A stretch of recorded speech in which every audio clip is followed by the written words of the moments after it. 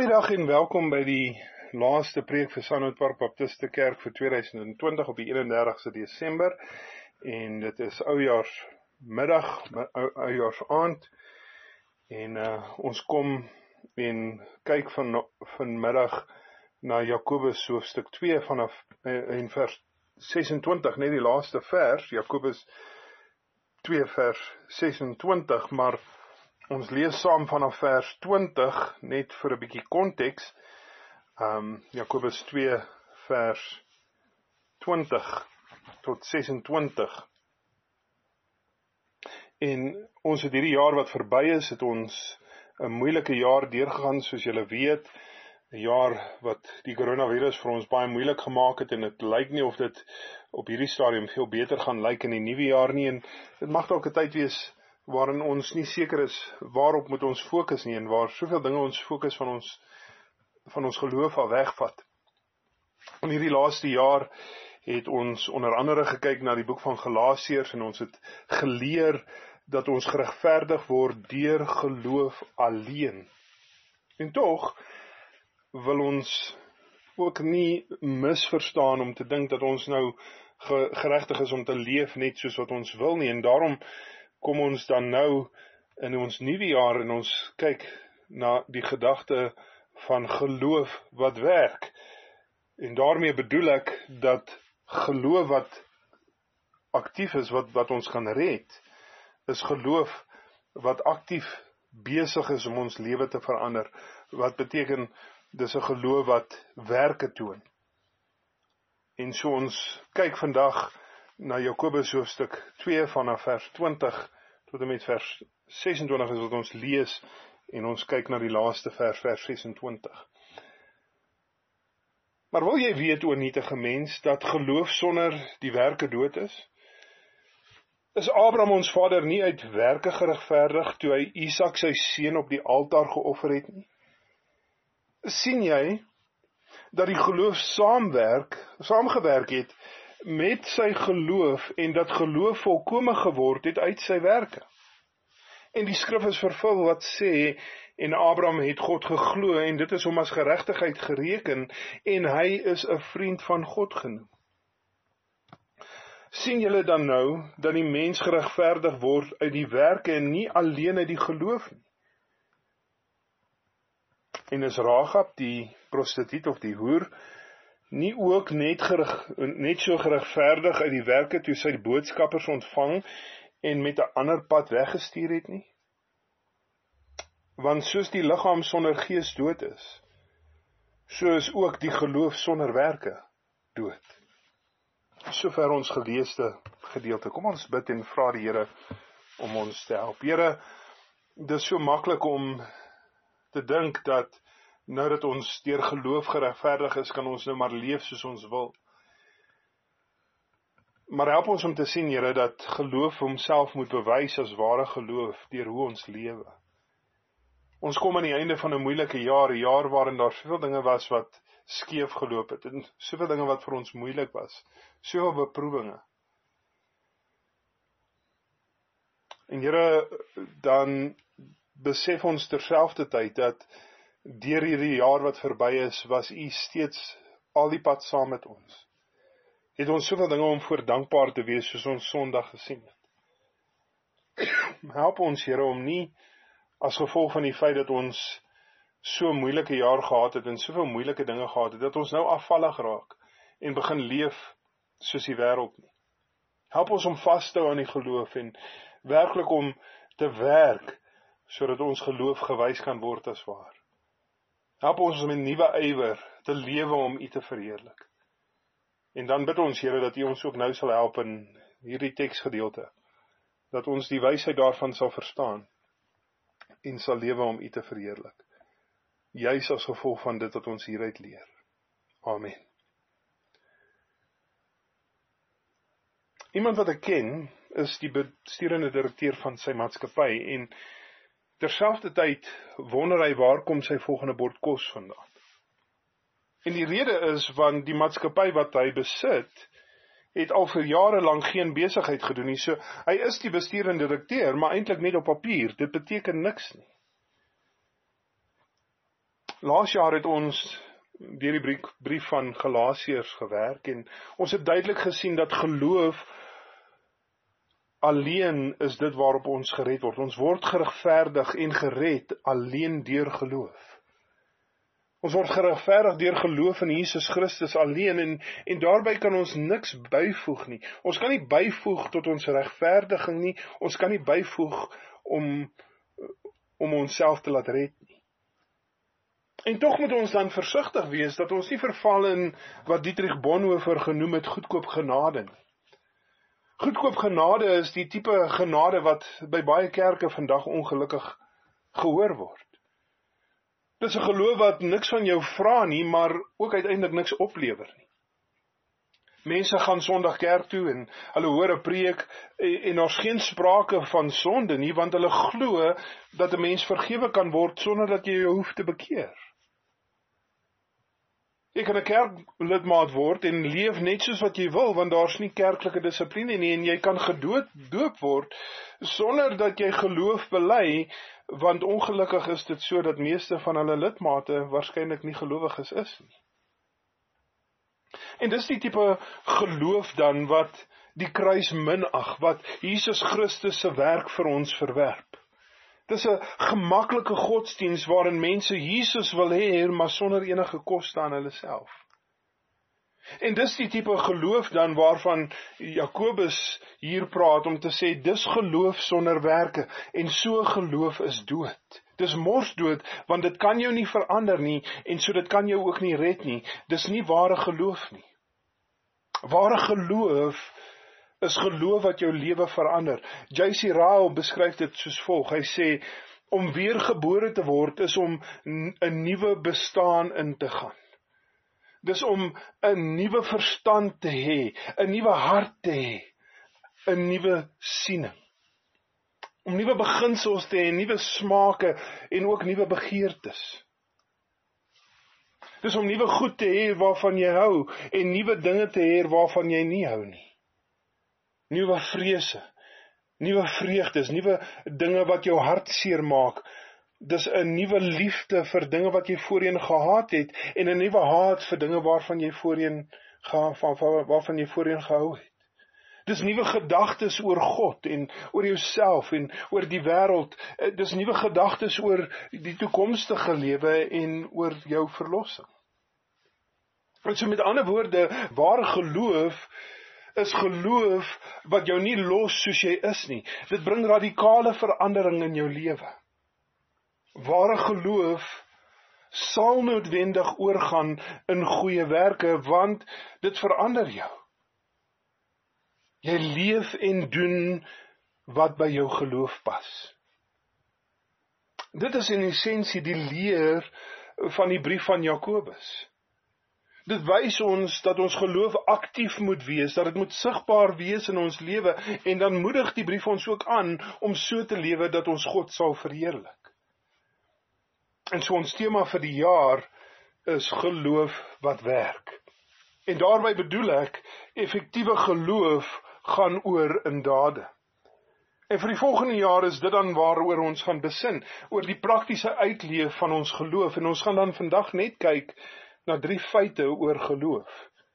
Eerstens, geloof sonder werke is dood. Geloof sonder werke is dood. Nou ons het 'n 'n nuwe Afrikaanse vertaling, 2020 vertaling en en dit blyk om 'n goeie vertaling te wees. Dit is nie perfek nie en natuurlik geen vertaling is perfek nie, maar dis 'n dis 'n letterlike vertaling en dis 'n goeie ding en en dis 'n moderne vertaling en en dis ook 'n goeie ding want want die ou vertaling is bietjie argaïs in sy taalgebruik. En, en in 'n sekere sin lees dit baie soos die Engelse ESV, die Bybel wat natuurlik my gunsteling vertaling is en ook ons amptelike vertaling hier vir ons Engelse dienste. En terwyl ons dan nog vir die oomblik sal aangaan om die Ou Testament ou vertaling te gebruik, ehm um, wanneer ons wanneer ons skrifvoorlesing doen, gaan al die skrifaanhalings vir die volgende paar maande gemaak word uit die 2020 vertaling sodat ons kan leer en sien hoe dit vertaal. En ek het uiteindelik uiteindelik die vermoede dat dit dan ons amptelike vertaling vir ons gemeente sal word. Nou ek sê dit nie alles net omdat ek uh, dink hierdie is belangrik om te sê en dat ek julle wil inlig oor hierdie goed nie. Ek dink dit is belangrik omdat daar 'n verskil is in hoe 'n spesifieke woord in ons teks vertaal is. Die ou vertaling hier in ons teks lees want soos die liggaam sonder gees dood is terwyl die 2020 vertaling lees want net soos die liggaam sonder asem dood is. So die ou vertaling sê die liggaam sonder gees is dood. Die nuwe 2020 vertaling sê die lewe die liggaam sonder asem is dood. En nou die Griekse woord wat hier vertaal word is die woord pneuma. En dit kan albei van hierdie dinge beteken. Dit kan beteken gees en dit kan beteken asem. En eintlik is daar ook nie 'n verskil nie, want die oomblik wanneer die liggaam sonder asem is, dan is dan het die gees die liggaam verlaat. Genesis 2 vers 7 vertel vir ons die ander kant van die verhaal en ek haal aan uit die Ou Ou vertaling sodat jy kan sien dat die ou vertaling self ook leer dat die asem is waar die lewe in is. En die Here God het die mens geformeer uit die stof van die aarde en in sy neus die asem van die lewe geblaas en so het dan die mens 'n lewende siel geword. So die oomblik toe God asem in die mens inblaas, toe word die mens 'n lewende siel. Met ander woorde, op daardie oomblik ontvang die mens toe sy gees. En so daar's geen rede vir ons om angstig te raak oor die feit dat daar 'n verskil is tussen asem, een vertaling sê asem en die ander vertaling sê gees nie. Want net soos wat die liggaam sonder asem dood is, net so is die liggaam sonder gees ook dood. En dit bring ons dan by Jakobus se punt en hy sê dat geloof is presies dieselfde. Net soos wat die liggaam en gees nie van mekaar kan geskei word en daar nog steeds lewe wees nie, net so is geloof wat nie oorgaan in werke nie ook dood. Geloof sonder werke is soos 'n liggaam sonder lewe. Nou terwyl die menslike liggaam selfs al is dit dood, steeds 'n mate van waardigheid het. Dit het ons Kersdag gesien, nê? Moet ons nog steeds erken dat 'n dooie liggaam is 'n liggaam sonder lewe en dis onderhewig aan verdorwenheid. En net so geloof sonder werke is geloof sonder lewe. Dit gaan tot nie, dit beteken niks. Dit kan jou nie bring tot 'n gemeenskap tot gemeenskap met God nie. Dit kan jou nie heilig maak soos God heilig is nie. En so dit kan nie oorgaan tot verlossing nie want dis dood, dis mors dood. En so iemand wat dadelose geloof het, het nie die Heilige Gees nie. Hy's nie 'n kind van God nie. Hy's niks beter as 'n dooie liggaam in 'n graf nie. Dis soos 'n kar wat sonder petrol is. Dit mag miskien goed lyk, maar dit bring jou nêrens nie. Broer en suster, wat Christendom van ons vra is aktiewe geloof, nie net 'n praat oor geloof nie, maar 'n doen. Ons moet wys wat in ons geloof steek. Geloof wat nie 'n nuwe verstand in jou opbring of 'n nuwe hart by jou skep of nuwe begeertes in jou laat nie, is nie ware geloof nie, want geloof moet oorgaan in werke. Maar dit bring my dan by die tweede punt. Werke sonder geloof is dood. So geloof sonder werke is dood. Maar werke sonder geloof is ook dood. En so ons moenie vir ons moet versigtig wees dat ons nie hierdie ding nou misverstaan nie. Ek is nie besig om hier vir jou te sê dat ons word gered deur ons werke nie. Maar kom ons wees eerlik dat daar is baie goeie mense in hierdie wêreld, mense wat veel meer goed doen as wat enige van ons kan doen. So hulle die werke, nie waar nie. Maar hulle het nie die geloof nie. En die vraag is kan so kan sulke werke hulle red? Nee, dit kan nie. Maar wat ek te sê Jakobus noem nie eers dat geloof werke sonder geloof 'n mens kan red nie want want so iets is heeltemal onlogies. Dis heeltemal teenstrydig met die leer van die evangelie van Jesus Christus. Werke kan ons nie in 'n regte verhouding met God bring nie. En so werke wat sonder geloof is, is waardeloos om ons te red. Dit kan ons nie regverdig nie. Ons kan nie geregverdig word deur ons eie werke nie. Dit het ons laas jaar gesien. Ons kan nie in ons eie geregtigheid staan nie want ons het geen geregtigheid nie. Ons is helverdienende sondaars. En so as gelowiges staan ons alleen in die geregtigheid van Jesus Christus, een wat wat sonder sonde was en wat volkome God en mens was. En ons is deur geloof, deur geloof is ons met hom verenig tot verlossing van ons sondes. Sonder geloof in Jesus Christus help jou goeie werke jou niks. So as Jakobus hier praat van geloof wat werke moet hê, dan sê hy die geloof gaan die werke vooruit sodat die geloof die oorsaak is van die werke. Dis sy punt. Die geloof verander jou lewe sodat jy lewe tot eer van God. Dis die bewys dat dit ware geloof is. En om die waarheid te sê, ons werke kan ons nie eens in die kleinste manier red nie. Dit kan nie bydra tot ons verlossing nie. Ons word alleen gered op grond van Jesus Christus se kruiswerk en dit ontvang ons uit genade deur geloof. Genade want is 'n geskenk van God. Geloof is 'n gawe van God. God moet ons red. Anders kan ons nie gered word nie want hier is die realiteit vir elke mens. Romeine 3 vers 23. Almal het trouens gesondig en die eer aan God ontbreek by hulle. En so net God kan ons red. En hy doen dit deur ons te regverdig deur die kruiswerk van Jesus Christus. En wanneer ons in dit glo, wanneer ons glo in Jesus Christus en sy voltooide werk aan die kruis, dan word ons gered nie op grond van ons eie werke nie. En so wat leer Jakobus vir ons hier in hierdie teks? Hy leer vir ons dat geloof sonder werke is waardeloos. Maar hy leer ook vir ons dat werke sonder geloof is waardeloos. Hy is geensins besig om vir ons te sê dat die Bybelse leer van regverdiging deur die geloof is verkeerd nie. Wat hy doen is hy wys vir ons wat die Bybel nog altyd geleer het en wat belangrik is is dat wanneer ware geloof ons regverdig, dan verander dit nie net ons verlossingsstatus nie, maar dit verander ook ons hele lewe. So dan Net soos wat geloof sonder werke dood is, so is werke sonder geloof ook dood. En dis wanneer die geloof oorgaan in werke wat dit bewys word as ware geloof. Nou meeste mense as ons kyk rondom ons probeer reg hard om goeie mense te wees. En sommige van daai mense in hulle poging om goed te wees, kom gereeld in 'n kerk. Maar tensy hulle in die Here Jesus Christus glo, dan help dit hulle niks nie. As jy die geloof kort kom, dan maak dit nie saak hoe goed jy is nie. Dit kan jou nie red nie.